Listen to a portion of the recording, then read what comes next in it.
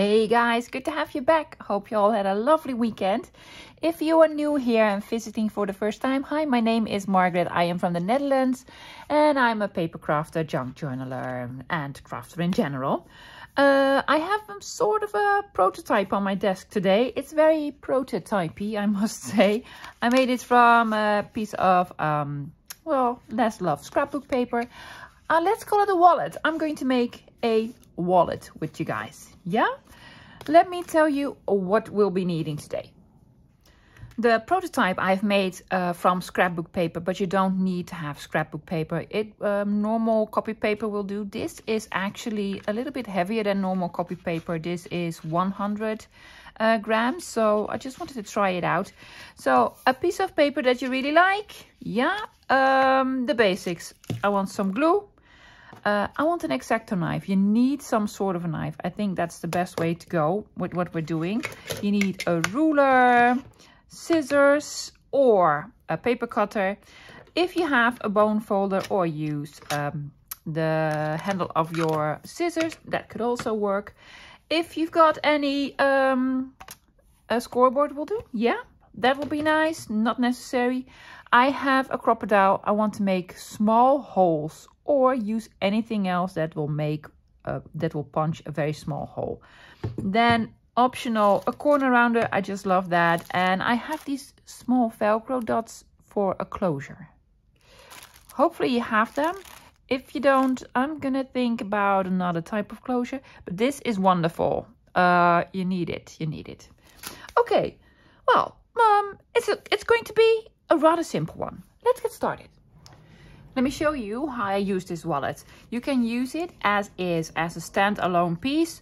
Uh, I've made a, a, larger tab because I really wanted this to be in a journal and then be functional as a tab as well. Uh, you can send it in Happy Mail or put it in a pocket in your journal. It has two pockets here, then have a pocket here and then the slots.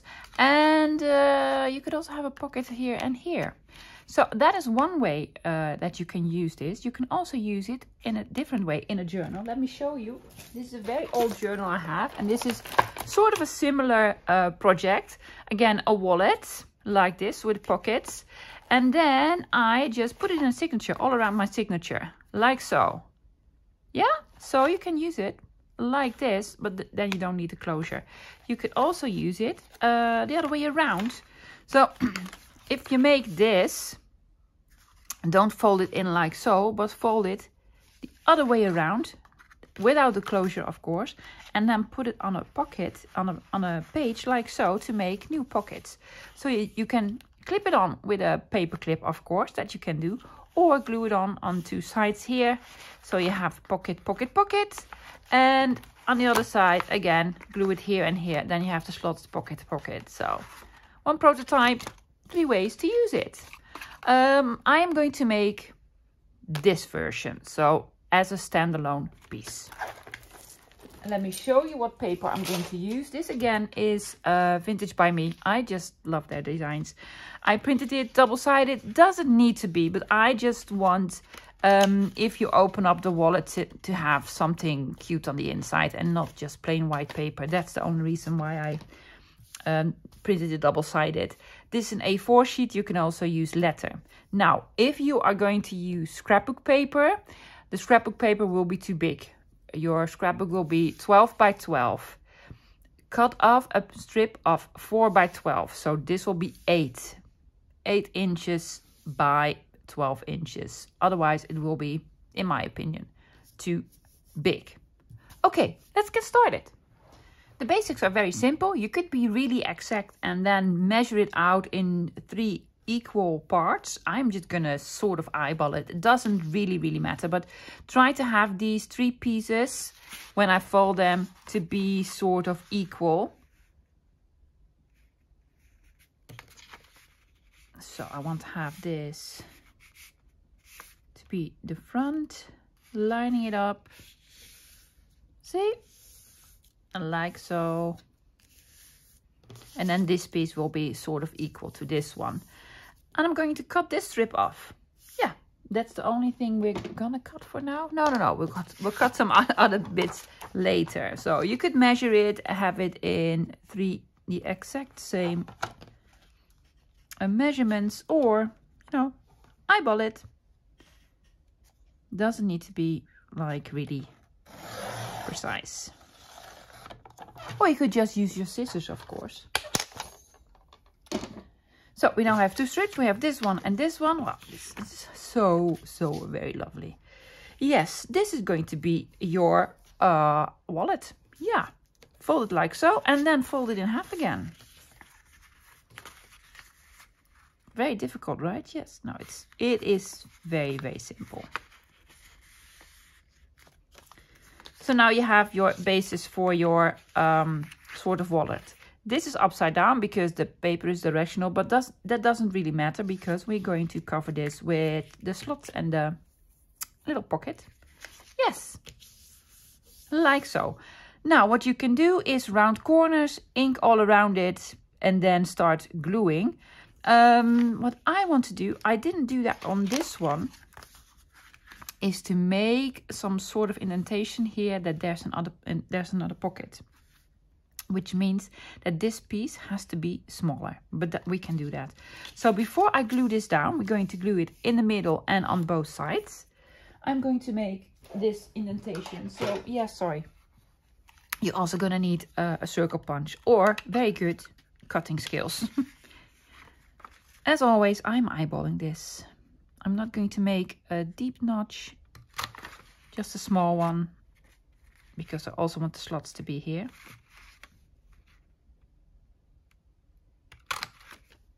Yep. See, and then you see a little bit of the inside. I just like to be to have paper that is printed on both sides. Um, also going to ink it. Yes, I'm quickly going to ink it before I glue it down. And I'm using don't worry guys, I'm not going to do it on camera. I'm going to do it off camera. I'm just going to so show you what I'm using. Uh, walnut stain. Why not walnut stain? So I'm going to ink all around it on all sides. Also I want the middle part to be inked and this part to be inked. So be right back. So it's inked all around and on the inside and all, you know, everywhere that will be visible. Okay, now I am going to glue some parts down. You could also sew it. Um, still not tried my sewing machine. I am sorry. I've been very busy, guys. We're also doing some renovations in the house. And um, so, yeah, it's, it's a very busy, busy time for me. And I'm also doing some preparations for the Junk Journal July because I'm going to do it. Yes, I've decided I'm going to do Junk Journal July. However, guys, um, I want to do, I want to have social life. so I don't think I'll be doing them during the weekend. So I will be doing them like five videos a week, maybe six. Well, I don't know. So I cannot do all the projects, the, um, what's gonna call it? The prompts. I cannot do all the prompts, but that's a good thing because there were some prompts in the list that I was like, how, why, and what? I don't know. I didn't have any inspiration to do any of that. So it is glued on. Now we are going to make slots. Slots are a little bit more difficult and a pocket. Well, a pocket is sort of self-explanatory. Yeah. I'm going to fold this in again. No measuring required. I'm just going to fold this in. Um, actually, I'm going to have this part this pocket a little bit bigger than the other one. Just decided that. Like half an inch or something. Yes. Uh, you can use scissors, but this uh, for me works better because I'm rubbish with scissors. There you go. So now, why did I make this a little bit bigger? Because I want the pockets, the pocket on here, to um, have a little bit more room. So I made some edges that folded on the inside. That probably has a technical name. Don't know what it is. so I'm very sorry. Taking out my uh, small scoreboard, I am scoring at a quarter of an inch. Please stay, piece of paper quarter of an inch here. Yes. And then turning it and then on the bottom I'm also going to score a quarter of an inch. And then turning it again on the other side. So only not on the top. On the top I will not be scoring it. There you go. So we have like a couple of scores now and then we have this sort of corner and I am going to cut that corner off on the line. There you go. Here's one. And here's one, especially when you use a scrapbook paper. Now I'm going to fold them nicely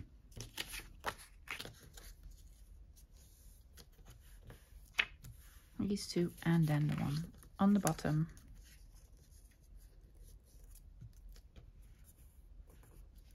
If we would have left the corners it would create a sort of a bulk here on these on these points. So that is why I always snip them away. What I'm also going to do is snip a little bit on the top just a tiny bit just a sliver at an angle. So I'm sure it won't stick out of the pocket on the top making a notch. Again, just a small one. Hopefully this is not too wide. No, no, no, it'll fit on here. See, pocket, pocket. Yeah. Quickly inking it.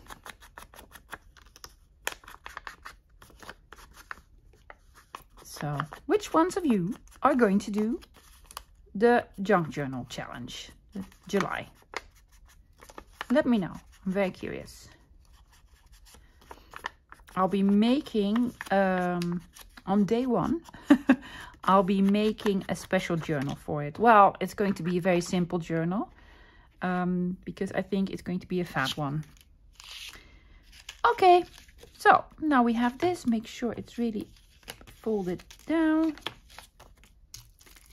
taking out my glue. Simple, simple.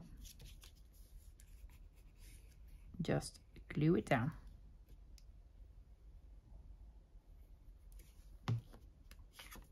You can use glue tape if you want to or normal glue. I want these to match up.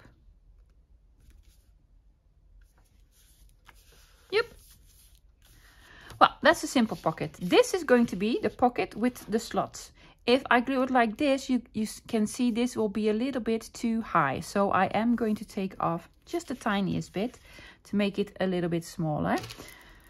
Uh, and also this is going to be a little bit more difficult than just making a pocket like this one. As you can see, I took off just the tiniest bit on the top. Make a decision now if you want to have this on this side or if you want to flip it around. I just want to be have this on the front.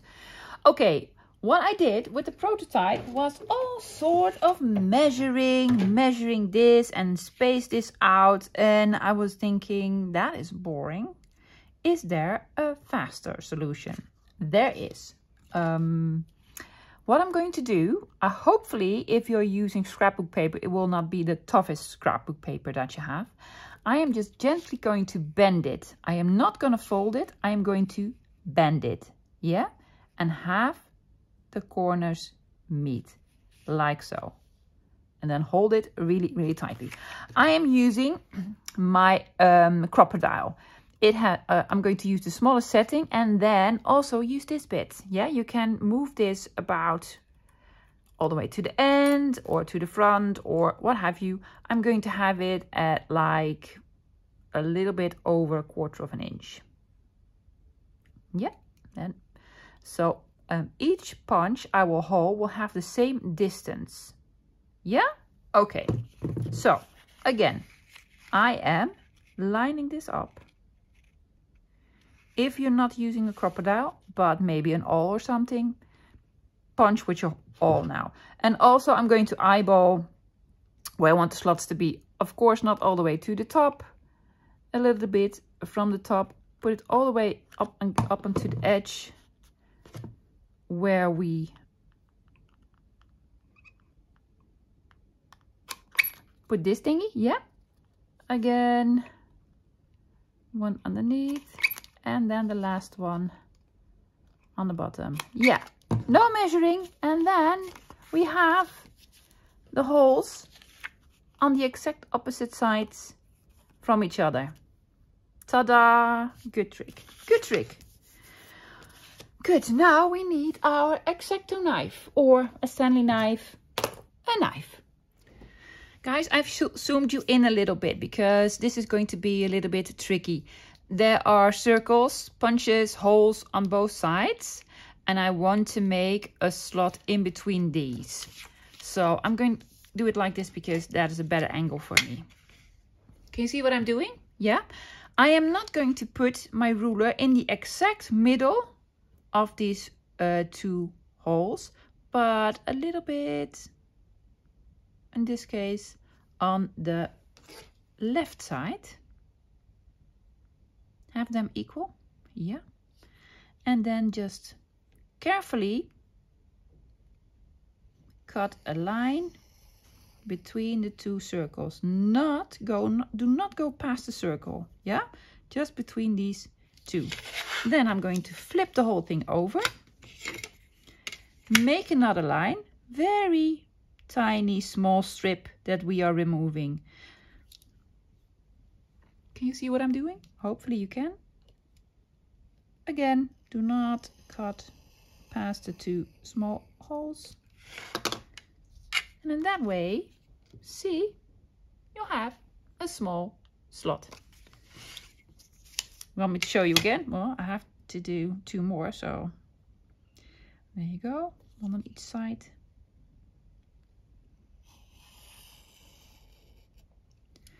there are um, dies for this I do have a die for this but I also understand that no but not everybody has that die or die cut machine for that matter and this is how I used to do it before I had that die.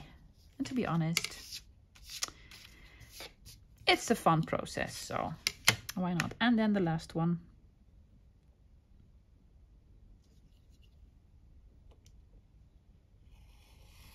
I did do this before in a video somewhere. I cannot remember which one it was, but I did it. I believe it was in the one that I did uh, Joey the Feast project.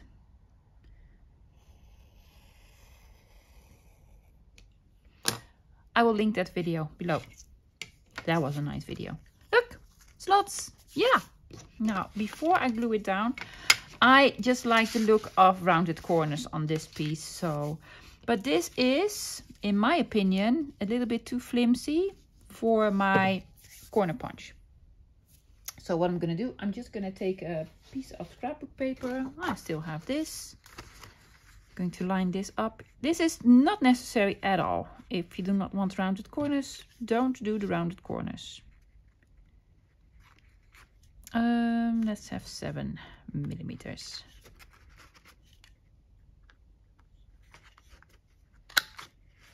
Yep. Why am I doing this? If I put my um, flimsy piece of paper, well, it's not that flimsy because it's uh, 100 grams. It's a little bit heavier than normal copy paper. Uh, my corner punch does not really like that. So I'm tricking it, thinking that it will be much heavier paper.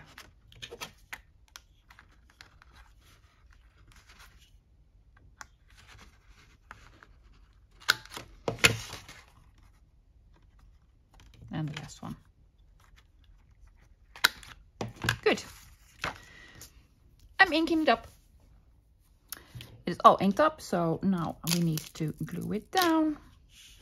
Pretty self-explanatory. I'm going to glue all four sides just all around it.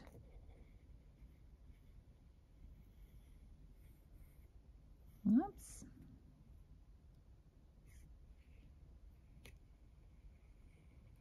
If this was a real wallet, this would be the place for the credit cards and such.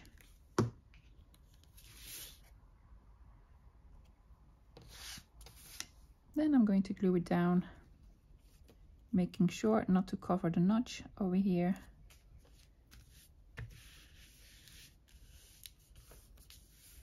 Yep. Cute, right? Yeah. Um, I'm going to make a closure. Or you can now have this this way around uh, on a pocket or this way around uh, on, a, on a page, I mean, or this way around. I'm going to make the whole wallet thing with a closure. Um, I'm using this tab. This is from um, die cut set that I've used many, many times. I didn't want to punch new ones. I have these like neutral ones. They're a little bit too plain for this project, I believe. So I'm going to ink them up first with a, you know, let's do a tea dye. Let's do the tea dye. Just grunging it up tiny bit, yeah. And I'm going to put um, stamp on it. Yeah, I think so. Also the inside because I'm gonna be visible for a little bit, yeah. And because there are a lot of sort of postage marks on here, I took out this sort of stamp set with some postage marks. I thought that would be nice. This says Berlin and I don't know what this says. Spain. Um, yep. Let's use the walnut stain. Why not? Because it's right in front of me. It's going to be the outside. Let's have, oh, Barcelona's on here now. And let's do Berlin on the other side. And Berlin. And then maybe small piece of Spain on the bottom. Yeah, see, it looks nicer now. Just some little bit of stamping. Okay, uh, I'm going to glue this bit over here. And then that is going to be the closure. Before I do that, I am going to fold it in gently. Yes, do I want something on the inside? I think so. Gonna go like so, and another stamp here. Yes, I want I want to be something on the inside. Let's do Berlin here and Barcelona. Yeah. That looks much better. So, uh, why did I do that? There's going to be a Velcro dot on here. That's okay.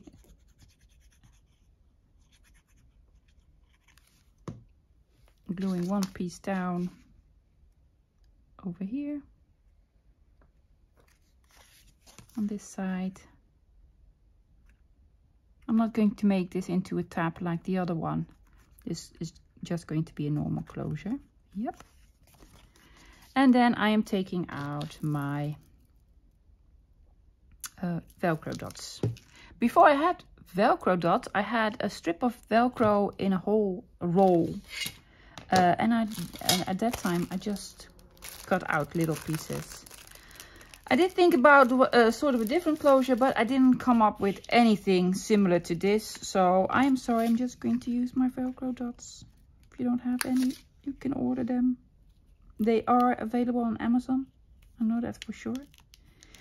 Uh, if you want, I do not have an uh, Amazon affiliate link, but I do know that Melina uh, I think Melina has them either in her shop or she has an affiliate link for Amazon. I'm almost certain. Or maybe even Julie. Chameleon Craft Design. If you are using these, have the fuzzy bit on the inside of um, that one. and then the clear bit is going to be on the wallet itself. Because in that way you will hardly see it. So that's my reasoning for this. So a closure. It's already cute. Just want to do a little bit of decorating.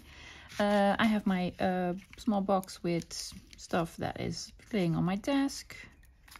I'll probably find some lovely things in here.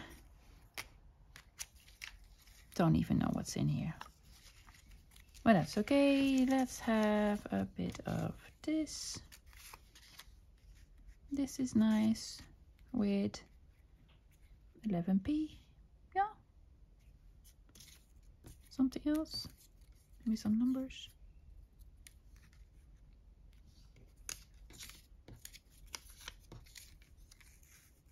That is too red.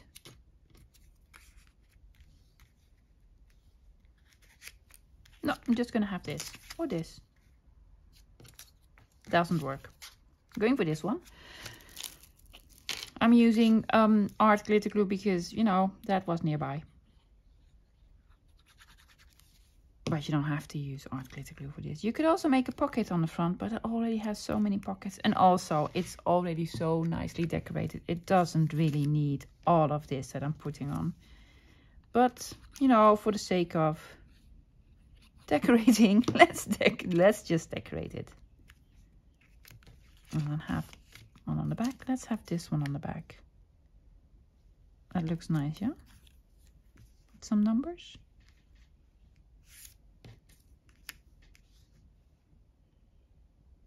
We can do that.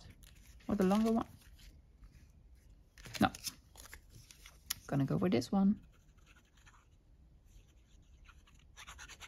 Again, it really doesn't need any decorating because it's already so very beautiful.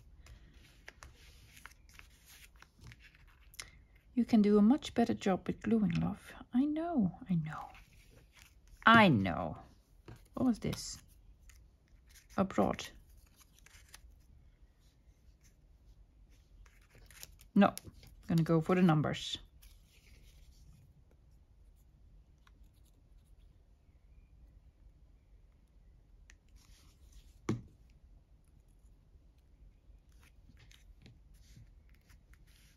Like so.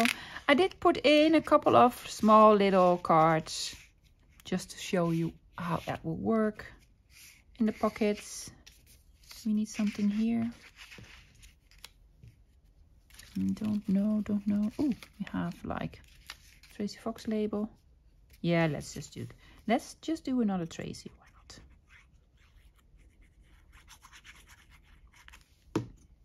There you go. I'm sorry, I had to cough.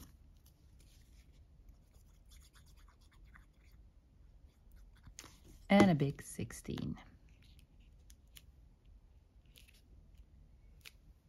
Yes! Lovely. Let's see the end result. Here it is, the little wallet. Let's call it a wallet. Yeah. Um, you can open it like so. We could have done this the other way around. That would have been better. Yes, glue this on this side and on this side, you know. But hey, doesn't really matter. Now it opens like this. Yeah, then we have a pocket here, here, here pocket, and then these cute little slots that we made. Yes, have it in Happy Mail or put it in a journal or do not use the closure and have it in a signature. I love it. Guys, hope you enjoyed the video. If you have any questions about, well, there are no measurements, but any question about anything, please let me know. Hope you liked it. If you did, please give it a thumbs up, leave a comment. If you have not subscribed, please subscribe. And I'll see you back again probably uh, tomorrow or the day after but really, really soon. Thanks for hanging out. Bye, guys.